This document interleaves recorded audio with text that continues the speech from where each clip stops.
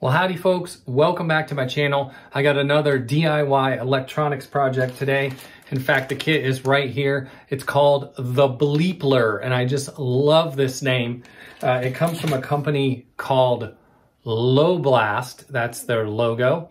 And I actually met these folks at KnobCon in September. Now, I will put uh, bookmarks in the timeline if you want to skip around, but real quick, I'm going to tell a quick story about them. Uh, so at KnobCon, I saw this fellow walk around. He was in like a lab coat, had like a gray beard, and started talking to him. And he's actually the dude from LoBlast, and his name was Langle Bookbinder, I believe. But anyway, uh, he's kind of the genius behind it. And what happened is he got into game programming, like 8-bit game programming. And so he wrote a game which you can get as a free digital download, but then he also decided to actually make it as hardware. So you can actually buy it as like an NES cartridge. And that's a thing now. The retro game market is, is like back. People are loving these retro games. And so it's a really fun game to play. But he said he, he wanted to make the game because he was into hardware. And what he really wanted to do was make little synthesizers and guitar pedals.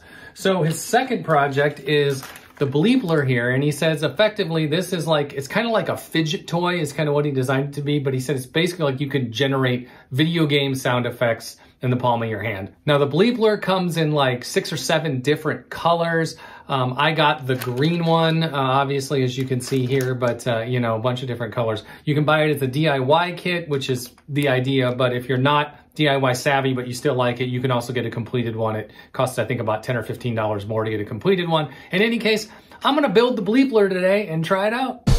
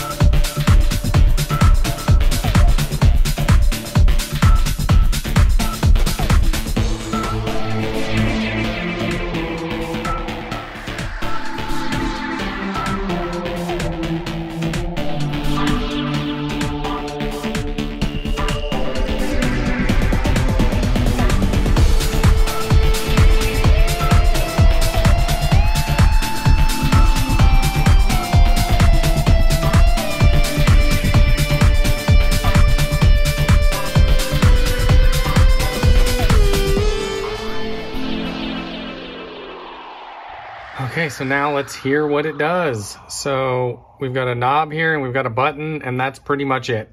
So when we push the button, we should get a tone. And then if we turn this, we should get pitch changes.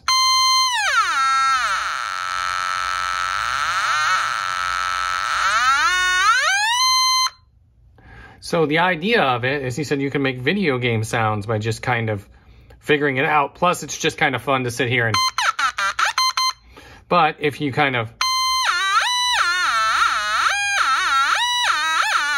starts to sound like a video game soundtrack.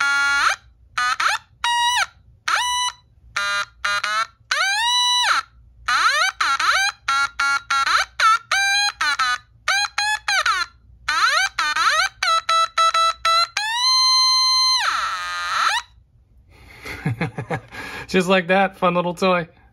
So there you go, folks. That's how you build a bleepler. Musical instrument meets fidget toy, I guess. Super fun. Easy little kit, one of the easier kits I've built. And uh, if you are interested in picking one up for yourself, I have LoBlast website up over here. I'll put that down below in the description so you know where to find one and check them out. Also, when I talked to Langle, he did say that there's more projects in the pipeline, so I don't know what's coming next, but uh, keep an eye on LoBlast. They seem like a really cool company, and the Bleepler is just a heck of a lot of fun. Now, to close this video out, I'm going to actually try to make something along the lines of a song with the Bleepler. Of course, it's not super easy to hit pitch because you're just kind of trying to find where a note is, and then if you're trying to repeat that note, you just kind of got to go by ear and get close. So I'm not sure how this is going to sound, but it's half the fun of it. Anyway, that's the Bleepler.